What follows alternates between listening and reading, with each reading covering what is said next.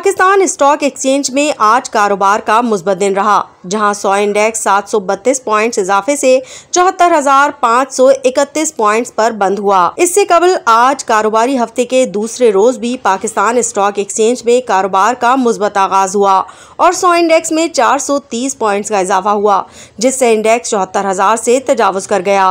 कारोबार के अख्ताम पर सौ इंडेक्स की तारीखी बुलंद तरीन सतह चौहत्तर हज़ार पाँच सौ पिछहत्तर है। आज स्टॉक मार्केट में सत्तावन करोड़ शेयर्स के सौदे तेईस अशारिया चार अरब रुपए में तय हुए, जबकि मार्केट कैपिटलाइजेशन अठहत्तर अरब रुपए से बढ़कर दस हज़ार अरब रुपए है।